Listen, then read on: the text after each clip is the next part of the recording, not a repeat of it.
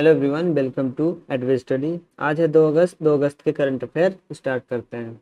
इससे पहले मैं एक चीज़ बता दूँ, ये जो सीरीज़ है ना, यहाँ पे मैं हालाँकि एम के फॉर्म में लाता हूँ करंट अफेयर को, लेकिन ये सभी इंपॉर्टेंट आर्टिकल जो पेपर्स में आते हैं, चाहे द हिंदू हो, चाहे इंडियन एक्सप्रेस हो, या डाउन टू अर्थ मैगजीन हो, कोई भी हो, वहाँ सबसे ही लेकर के आता हूँ। तो जो भी इम्पोर्टेंट पॉइंट होते हैं रिलेवेंट पॉइंट होते हैं, उसको ही मैं हाईलाइट करता हूँ, बाकी चीज़ें नहीं करता हूँ। तो ऐसा नहीं है कि सिर्फ़ एम सी क्यू है ये ये पूरा करंट अफेयर होता है। बस फॉर्म इसका ऐसा है कि मैं एम सी क्यू के फॉर्म में लाता हूँ, इससे याद करने में और कैसे प्रश्न आते हैं, इससे भी, इसमें भी आसानी होती है।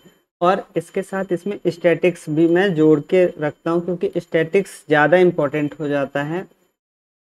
ज़्यादातर आप क्वेश्चन देखेंगे किसी भी पेपर में तो करंट से जुड़ा जुड़ा जो स्टैटिक्स है ना, वहाँ से बहुत सारे प्रश्न आते हैं। तो इसलिए स्टैटिक्स पढ़ना ज़्यादा ज़रूरी होता है। तो मैं स्टैटिक्स भी लाता हूँ और इसका थोड़ा सा फॉर्म मैंने बदला है तो अभी शायद आपको ज़्यादा पसंद आएगा।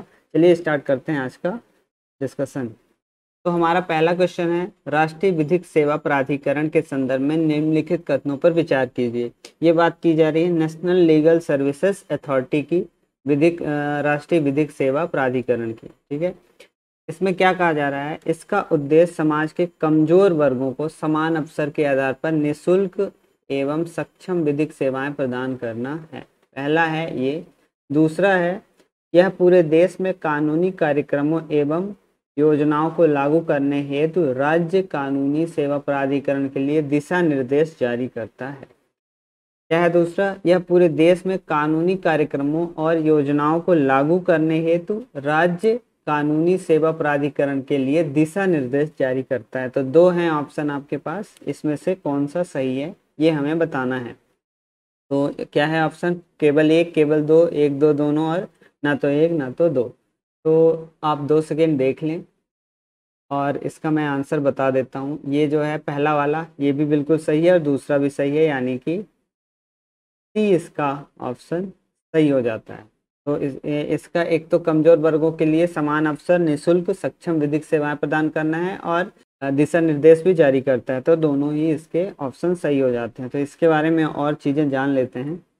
अगर इसकी परिभाषा की बात करें तो समाज के कमज़ोर वर्गों को मुक्त कानूनी सेवा प्रदान करने के उद्देश्य से लोक अदालतों का गठन।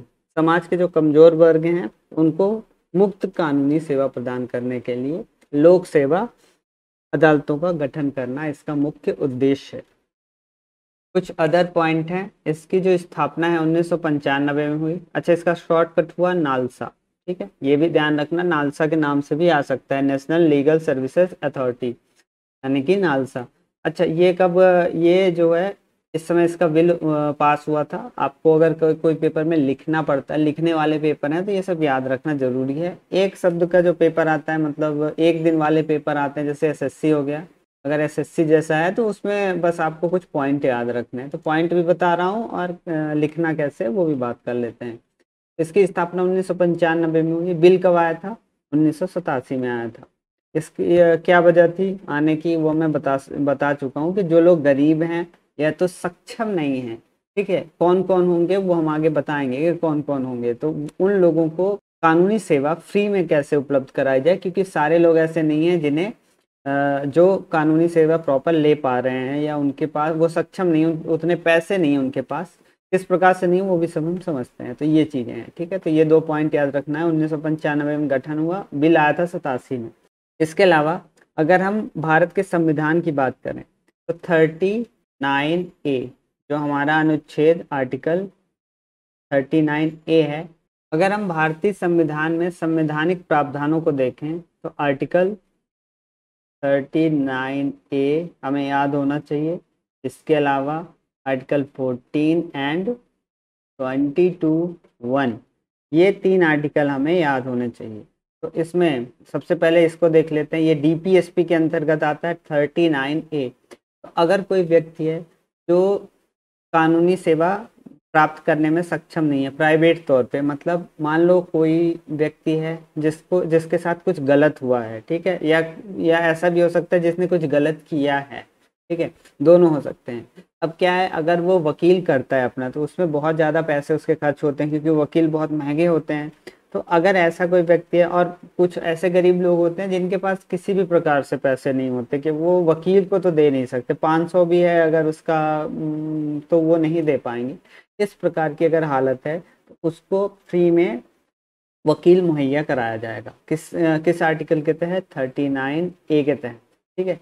ये इसका पार्ट नहीं है, लेकिन इनडायरेक्टली इससे जुड़ा हुआ, ये पहले से था हमारे कानून में, ठीक है? Thirty nine A. Indira Gandhi के समय से ये वाला आर्टिकल चला आ रहा है हमारे पास, ठीक है? उन्होंने ही पहले जोड़ दिया था। इसके बाद कानून के समक्ष समानता आर्टिकल फोर्टी फोर्टीन और यही, ये भी यही कहता है, ठीक है? ट्वेंटी वन ए तो खैर ये दोनों एक ही जैसे हैं। ये ज़्यादा इम्पोर्टेंट है, चौदह आर्टिकल चौदह ज़्यादा इंपॉर्टेंट है। इसके बाद, इसको तो आप जानते ही हैं, इसको मैंने बता दिया। तो ये चीज़ें हैं। तो अगर कोई व्यक्ति है जिसको कानूनी सेवा प्राप्त करना, जिसके लिए प्राइवेट तौर पे संभव नहीं है तो उसे फ्री में सेवा मुहैया कराई जाएगी। एक सर अदालत द्वारा सुप्रीम कोर्ट, हाई कोर्ट या जिला जो भी जिला सत्र न्यायालय होगा, उसके द्वारा एक वकील मुहैया कराया जाएगा फ्री में, चाहे वो एक्यूज हो या विक्टिम हो। अगर कोई किसी ने गलत किया है उसके पास भी पैसे नहीं है कि वो अपना वकील कर कर सके तो उसे भी कोर्ट द्वारा वकील दिया जाता है। और ये एक सही प्रैक्टिस है, ठीक है? आप लोग या आप लोग क्या? लेकिन समाज में ऐसा समझा जाता है कि उससे क्यों दिया जाता है? लेकिन उस, बिना वकील के कोई भी व्यक्ति, चाहे वो सही एक्यूज हो या विक्टिम हो, वो अदालत में पेश नहीं हो सकता है। उसे अपने वकील के माध्यम से ही बात रखनी होती है। तो इस वजह से सभी को वकील दिया जाता है, ठीक है? एक बात करने के लिए कोई दिया जाता है, क्योंकि कानून का जानकार तो वो है ना, वो व्यक्ति तो नहीं है, हम खुद जा कर के खड़े होकर के बात नहीं कर सकते जज के सामने प्रॉपर। तो खैर, ये है एक सभ्य समाज के लिए ये ज़रूरी है तो ये चीज़ें तो ये पहले से प्रावधान है। इसके अलावा लोक अदालत जो बनाई गई हैं, वो इस आर्टिकल, इस वाले प्राधिकरण के तहत, जो 1995 में आया था, उसके तहत ये वाले प्रावधान किए गए हैं। इसमें क्या क्या है? निशुल्क कानूनी सहायता प्रदान की जाएगी, ठीक है? इसके तहत, नालसा के तहत निशुल्क कानूनी सहायता प्रदान की जाएगी, कानूनी जागरूकता का विस्तार किया जाएगा, लोक अदालतों का आयोजन किया जाएगा मतलब लोक अदालतें बनाई जाएँगी। तो ये कुछ प्रावधान है। अब लोक अदालतें क्या होंगी, वो सब भी हम आगे थोड़ा सा समझेंगे। अब अगर ये संस्था बनाई गई है तो इसके कोई हेड भी होंगे ना। तो हेड कौन कौन होगा? सबसे पहला हेड कौन होगा? सुप्रीम कोर्ट का मुख्य न्यायाधीश, ठीक है? चीफ जस्टिस ऑफ़ इंडिया सतासी का बिल जो है, उसके तहत, ठीक है? नालसा का जो चीफ जस्टिस जो हेड होगा, वो मुख्य न्यायाधीश होगा चीफ जस्टिस ऑफ़ इंडिया होगा। उसके बाद राज्य स्तर पर, राज्य स्तर पर उच्च न्यायालय का मुख्य न्यायाधीश होगा। जिला स्तर पे जिला न्यायाधीश होंगे, जो भी वहाँ के जिला न्यायाधीश होंगे। जिला सत्य, सत्र न्यायालय में, ठीक है? ऐसा नहीं है कि कलेक्टर को बना दिया जाएगा, नहीं। जिला सत्र न्यायालय का जो न्यायाधीश होगा, उसी को, जिसको दस साल की सजा देने का अधिकार होता है, दस साल से ऊपर की सजा देने का अधिकार होता है, या सात साल से ऊपर की सजा देने का अधिकार होता है। जो डीएम होते हैं, उनको ऐसा ये वाला, ये यहाँ पे शामिल नहीं किया जाएगा। जिला सत्र न्यायालय का न्यायाधीश ही होगा, ठीक है? इसके अलावा जो वरिष्ठ तालुक या उपमंडल जो होता है, उसमें कौन होगा? वरिष्ठ सिविल जज होंगे। कोई सिविल जज हैं, वरिष्ठ हैं, उनको बनाया जा सकता है, क्योंकि हर जगह यहाँ पे ज़रूरी नहीं है कि अदालत हो तो जो भी उस ज़िले के वरिष्ठ सिविल जज होंगे, उनको इस पोस्ट पे नियुक्त कर दिया जाएगा। उसके अलावा बस इतनी चीज़ें हैं। अच्छा अब इसमें सेवा पाने का अधिकार किसे किसे होगा? ठीक है, मैंने तो जो बताया था, थर्टी नाइन ए के तहत ठीक है तो कैदियों के बारे में बात कर रहा था मैं। हालाँकि उसमें और लोग भी शामिल हैं, सिर्फ़ कैदी नहीं है, जो एक्यूज़ है और जो विक्टिम है दोनों हैं। तो विक्टिम में कौन कौन हो सकता है? एक्यूज़ तो ठीक है, जो हिरासत में है वो तो ठीक है, लेकिन विक्टिम में कौन कौन सा हो सकता है? कोई महिला हो सकती है, बच्चे हो सकते हैं, ठीक है, जिनके पास ये सुविधाएँ नहीं है कि वो अपना वकील कर सकें। अनुसूचित जाति, अनुसूचित जनजाति के सदस्य हो सकते हैं। इसके अलावा सामूहिक आपदा, बाढ़, सूखा, इस तरह की स्थिति मतलब कोई उस एरिया में कोई प्राकृतिक आपदा आई है तो उस तरह से जो लोग परेशान हैं, उनको भी इस तरह से सहायता पाने का अधिकार होगा। इसके अलावा विकलांग व्यक्ति, ठीक है, कोई विकलांग है, उसे भी सहायता मिले। इसके अलावा बहुत इंपॉर्टेंट है, कोई मानव तस्करी का शिकार हुआ है, जैसे किसी दूसरे देश से या किसी दूसरे राज्य से किसी बच्चे को उठा लाए अब उसके पास कहाँ से पैसे होंगे, ठीक है? तो वो अगर आता है तो उसे भी इस तरह से सेवा प्राप्त करने का अधिकार होता है, उसको दिया जाएगा, ये हमारा कर्तव्य है, ठीक है? इतनी चीज़ें। हमारा जो नेक्स्ट क्वेश्चन है, वो है भारत के संसद के संदर्भ में निम्नलिखित कथनों पर विचार कीजिए। तो क्या है? एक निजी सदस्य का विधेयक एक संसद सदस्य द्वारा प्रस्तुत किया गया विधेयक है, जो निर्वाचित नहीं है, बल्कि केवल भारत के राष्ट्रपति द्वारा नामित है। अब इसमें एक शब्द आ रहा है, केवल। इसमें जो ये शब्द आ रहा है, केवल। इसकी वजह से इसमें कुछ बदलाव किए जाएँगे। चलिए आगे देखेंगे। दूसरा है, हाल ही में भारत के संसद ने अपने इतिहास में पहली बार निजी सदस्य का एक विधेयक पारित किया। बोला जा रहा है कि अभी अभी ऐसा हुआ है, पहली बार जब भारत की संसद में इतिहास में पहली बार एक निजी सदस्य द्वारा विधेयक प्रस्तुत किया गया। ठीक है? तो ये दोनों ही गलत हो जाते हैं। मतलब इसका ऑप्शन हो जाएगा डी करेक्ट हो जाएगा डी क्योंकि पूछा जा रहा है कि कौन सा सही है। अब इसमें क्या कहा जा रहा है? एक बार और देख लीजिए। एक निजी सदस्य का विधेयक एक संसद सदस्य द्वारा प्रस्तुत किया गया विधेयक होता है जो, यहाँ से थोड़ा सा बदल जाती है कहानी, जो निर्वाचित नहीं होता, बल्कि केवल, ठीक है, भारत के राष्ट्रपति द्वारा मनोनीत होता है। ठीक है? ये बात सही है कि कोई जो निजी सदस्य होता है ना, वो भारत के राष्ट्रपति द्वारा मनोनीत हो सकता है। जो निजी बिल होता है, वो भारत के राष्ट्रपति द्वारा मनोनीत हो सकता है, लेकिन केवल शब्द नहीं होना चाहिए। आगे बताता हूँ कैसे। ओके तो जो हमारा पहला ऑप्शन था कि केवल भारत के राष्ट्रपति द्वारा नामित, ठीक है, मनोनीत जो सदस्य होते हैं, उनकी बात की जा रही है, वहाँ से ये गलत हो जाता है, क्योंकि ठीक है, ऐसा होता है कि जो बिल होता है, प्राइवेट बिल होता है जो, वो कोई भी संसद का सदस्य पेश कर सकता है, चाहे वो नामित हो, चाहे नामित हो या इलेक्टेड हो, ठीक है, दोनों पेश कर सकते हैं। अगर कोई मंत्री करता है, संसद के किसी भी सदन में कोई मंत्री करता है, अगर किसी बिल को इंट्रोड्यूस तो वो सरकारी बिल कहलाता है, ठीक है। और अगर कोई सदस्य करता है जो मंत्री नहीं है, मंत्री के अलावा कोई भी सदस्य, कोई भी संसद हो सकता है तो वो अगर करता है तो वो प्राइवेट बिल कहलाता है। लेकिन वहाँ पे गलत क्या हो जाता है कि केवल मनोनीत नहीं, ऐसा नहीं है। मनोनीत भी कर सकता है और नॉर्मल तो पहला वाला इस वजह से गलत हो जाता है। और इसके अलावा जो दूसरा वाला है, दूसरा वाला क्या कहता है कि हाल ही में जो है, पहली बार ऐसा हुआ है, जो किसी निजी सदस्य द्वारा विधेयक प्रस्तुत किया गया तो ऐसा नहीं है। इसके पहले मुस्लिम वक्फ विधेयक मुस्लिम वक्फ बिल था, उन्नीस सौ बयालीस बावन में किया गया था। उन्नीस सौ बावन में इसे पेश किया गया था। तो पहला ये हो जाएगा, फिर उसके बाद ये उन्नीस में पारित भी हो गया था। इसके अलावा 2015 में भी एक ट्रांसजेंडर ट्रांसजेंडर व्यक्तियों के अधिकार के लिए बिल प्रस्तुत किया गया था, जो एक प्राइवेट मेंबर द्वारा प्रस्तुत किया गया था। तो 2014 में किया गया था 2015 में ये राज्यसभा में पारित हो गया। तो ये वाला भी है। तो दो पहले हो चुके हैं इस वजह से ये तीसरा हो जाएगा।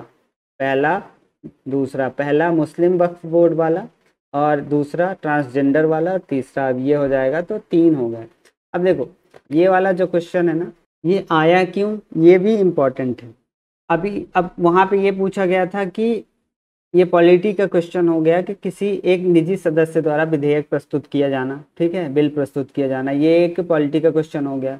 तो आया क्यों? क्योंकि राज्यसभा में ना एक स्वास्थ्य के अधिकार पर विधेयक प्रस्तुत किया गया, बिल प्रस्तुत किया गया, जो निजी सदस्य द्वारा प्रस्तुत किया गया था, ठीक है? और इस पे गहन चर्चा भी की गई है। अब देखो, बात तो कुछ और हो रही है, सवाल कुछ और आ गया। सवाल इसलिए कुछ और आ गया क्योंकि ये दोनों चीज़ें जुड़ी हुई हैं तो ज़रूरी नहीं है कि आप जिस करंट अफेयर को पढ़ रहे हैं, बस वही आ जाएगा। उससे जुड़ी हुई जितनी चीज़ें हैं, कुछ भी पूछा जा सकता है, चाहे वो कोई भी एग्ज़ाम इस समय के जो एग्ज़ाम होते हैं, वो कोई भी एग्ज़ाम क्यों ना हो।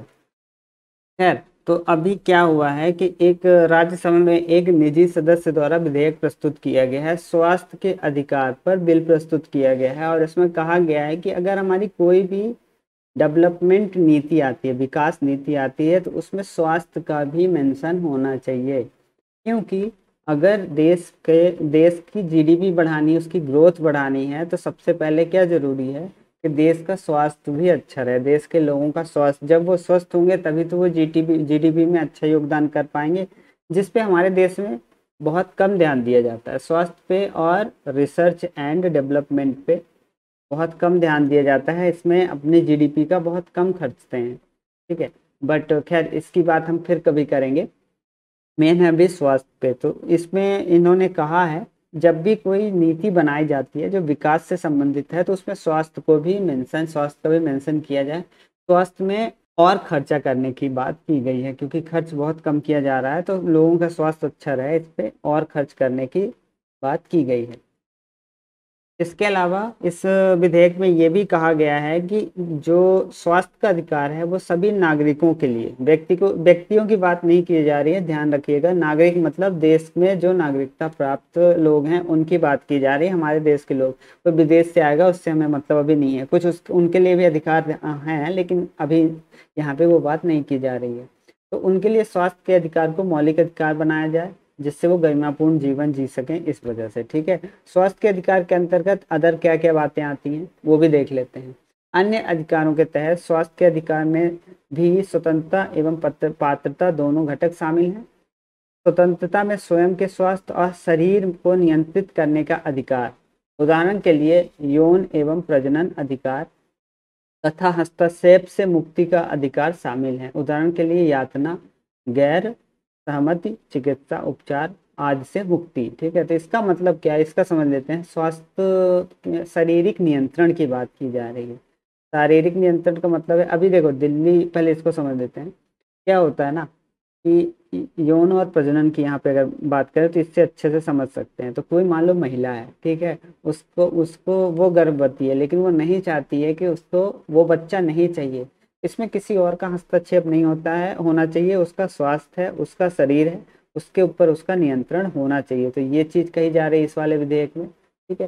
क्योंकि क्या है, अभी दिल्ली उच्च न्यायालय का फैसला आया था कि अगर कोई महिला है जो ट्वेंटी फोर मंथ से प्रेग्नेंट है, ट्वेंटी फोर मंथ या ट्वेंटी या ट्वेंटी फोर मंथ से प्रेग्नेंट है तो वो अगर शादीशुदा है, तब तो उसे अपना बच्चा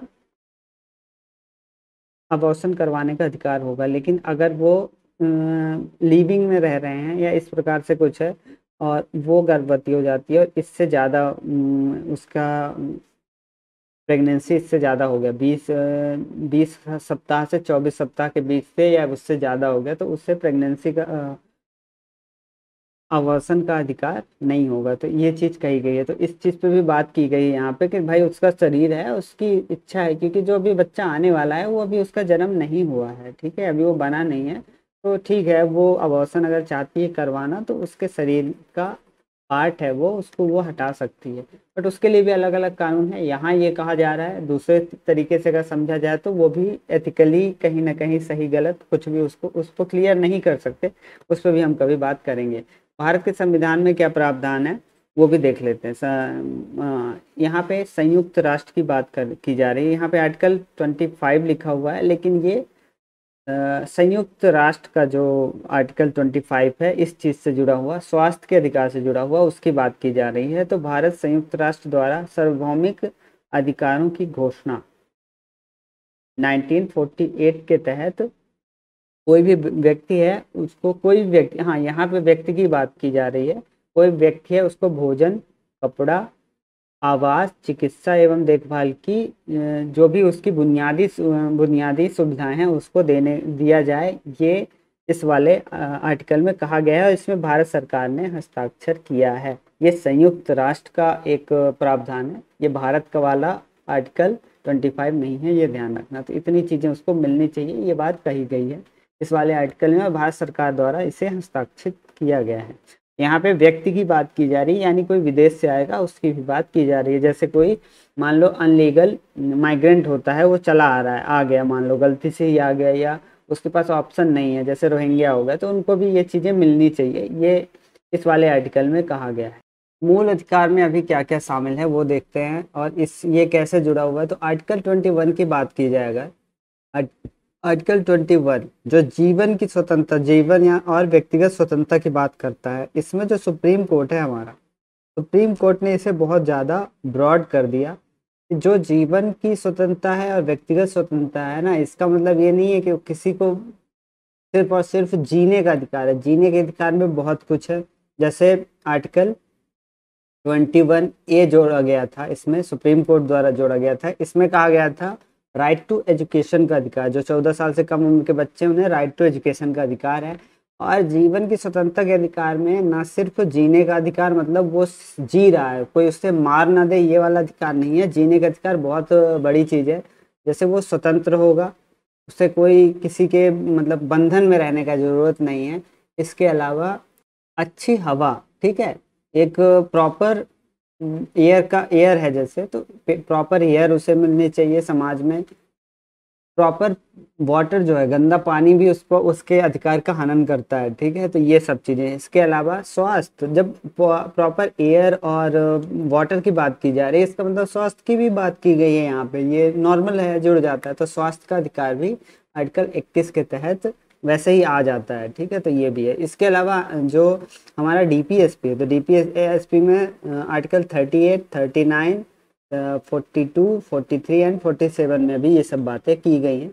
ये हालाँकि सरकार के ऊपर मेडिटरी नहीं है, वो चाहे तो इसे कर सकते हैं मतलब इसे लागू किया जा सकता है और चाहे तो ना भी करें। बट एक उनका दायित्व तो है कि उसे ये लागू करवाएँ। बट आर्टिकल इक्कीस तो अनिवार्य तौर पर कहता है कि इतनी चीज़ें मिलनी ही चाहिए। ये सुप्रीम कोर्ट ने बाद में कहा था। नॉर्मली आर्टिकल में सिर्फ़ इतना ही लिखा था, लेकिन इसकी व्याख्या की गई सुप्रीम कोर्ट के द्वारा। तो ये था। नेक्स्ट आर्टिकल में चलते हैं। नेक्स्ट क्वेश्चन है, इंडियन इनोवेशन इंडेक्स 2021 ठीक है, इंडियन इनोवेशन इंडेक्स 2021 की बात की जा रही है। इसके अनुसार मुख्य राज्यों की सूची में शीर्ष स्थान पर कौन सा राज्य शीर्ष स्थान किस राज्य को प्राप्त हुआ? तो इसमें क्या है आपके पास ऑप्शन? कर्नाटक है, केरला है, तमिलनाडु है, गुजरात है। वैसे इसका ऑप्शन आपको शायद पता होगा। दो सेकेंड आप देख लें, उसके बाद मैं इसका आंसर देता हूँ। इसका सही आंसर है कर्नाटक। कर्नाटक को मिला है पहला स्थान, इंडियन इनोवेशन इंडेक्स 2021 की रिपोर्ट में। इसके बारे में और बात करें तो 2021 का इंडेक्स इस रिपोर्ट का तीसरा संस्करण है। इसका मतलब दो पहले आ चुके हैं और यह जो ग्लोबल इनोवेशन इंडेक्स है, उसी के तर्ज पे तैयार किया गया है। जो ग्लोबल इनोवेशन इंडेक्स का जो पैमाना है, उसी पैमाने पे इसे भी तैयार किया गया है। और इसके अलावा 2020 में भी ये वाली रिपोर्ट आई थी। 2020 में इसमें टोटल 36 इंडेक्स रखे गए थे। थर्टी सिक्स इंडेक्स रखे गए थे, जो 2021 में बढ़ा के 66 कर दिए गए, ठीक है? अब 66 इसके पैमाने हैं, जिस पे देखा जाएगा कि कोई राज्य कैसा परफॉर्मेंस कर रहा है इस वाली रिपोर्ट में इनोवेशन के क्षेत्र में अब ये जो 66 इंडेक्स है, उसे सेवन पिलर में बांटा गया है, ठीक है? सेवन पिलर होंगे, उसमें इसे बांटा गया तो सेवन पिलर कौन से हैं, क्या है? तो इसमें पाँच जो पिलर हैं, पाँच जो पिलर हैं, वो इनपुट को मापते हैं, सक्षम इनपुट को मापते हैं और दो पिलर ऐसे होंगे जो प्रदर्शन या परफॉर्मेंस आउटपुट को मापेंगे। उसको भी हम थोड़ा सा समझेंगे।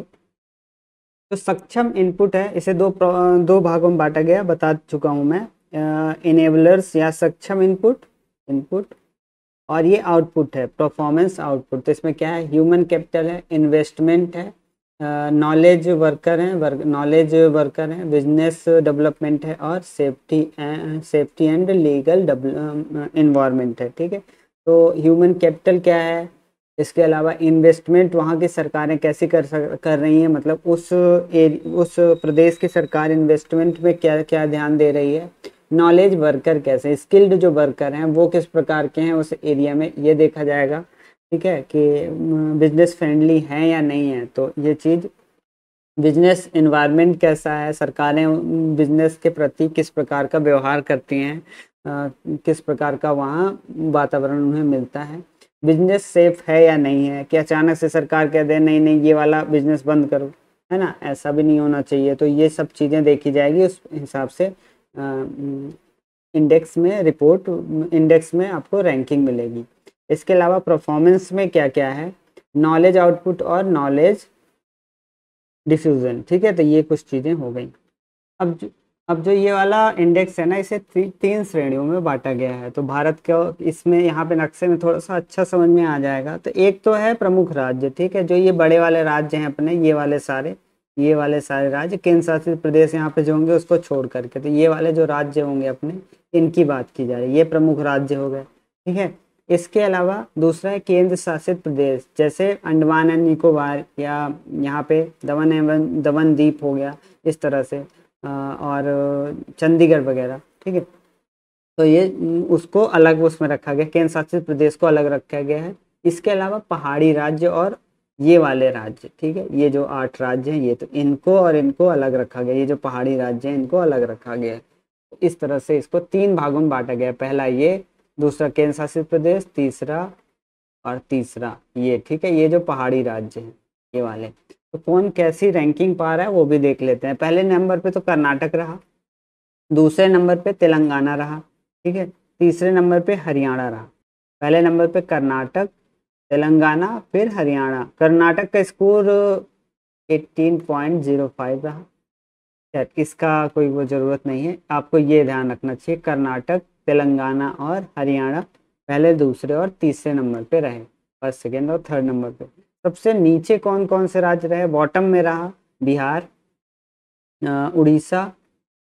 उड़ीसा को यू से कर देते हैं, छत्तीसगढ़ को हम सी से कर देते हैं। तो सबसे बॉटम में रहे तो छत्तीसगढ़ सबसे नीचे रहा, फिर रहा क्या? उड़ीसा, उसके बाद क्या रहा? बिहार। तो ये तीन ये तीन राज्य इस प्रकार से। इसके अलावा केंद्र शासित प्रदेश में पहले नंबर पे चंडीगढ़ रहा। केंद्र शासित प्रदेश में पहले नंबर पे चंडीगढ़ रहा, फिर दिल्ली रहा, फिर केंद्र शासित प्रदेश में पहले नंबर पे चंडीगढ़ रहा, इसके बाद दिल्ली रहा। ठीक है तो इसको दो ही याद करने की ज़रूरत है। पहाड़ी राज्यों की बात करें अच्छा सबसे बॉटम में कौन सा रहा? लद्दाख। ठीक है, सबसे बॉटम में लद्दाख रहा, इधर, ये लद्दाख। ये पुराना नक्शा है तो इसलिए थोड़ा सा प्रॉपर नहीं बना है। ये यहाँ पे लद्दाख। ठीक है तो ये लद्दाख रहा आ, अपना बॉटम में। और पहले नंबर पे चंडीगढ़ रहा यहाँ पे आएगा दूसरे नंबर पे दिल्ली ये रहा ठीक है? दूसरे नंबर पे दिल्ली तो पहाड़ी राज्यों की बात कर लें तो पहाड़ी राज्यों में पहले नंबर पे रहा मणिपुर उत्तराखंड और मेघालय। मणिपुर इधर आ जाएगा यहाँ पे आ जाएगा मणिपुर ठीक है? उत्तराखंड इधर ऊपर आ जाएगा ये अरुणाचल प्रदेश हो गया ये उत्तराखंड यहाँ पे आ जाएगा उसके बाद आएगा मेघालय ठीक है? मेघालय भी नीचे आ जाएगा। ये रहे, इसके अलावा सबसे लास्ट में जो रहा, वो नागालैंड रहा। नागालैंड ये है ये है नागालैंड। तो नागालैंड सबसे लास्ट में रहा। ये थोड़ा सा इसको, मैं इसका पीडीएफ शेयर कर दूँगा, उससे आप अच्छे से इसको पढ़ लेना। तो ये कुछ बातें थी इसके बारे में। तो ये थे आज के आर्टिकल उम्मीद है आपको पसंद आए होंगे। अगर पसंद आए हैं तो प्लीज़ लाइक से सब्सक्राइब करना, क्योंकि इसी से मैं आगे बढ़ पाऊँगा। थैंक यू फॉर वॉचिंग एडवे स्टडी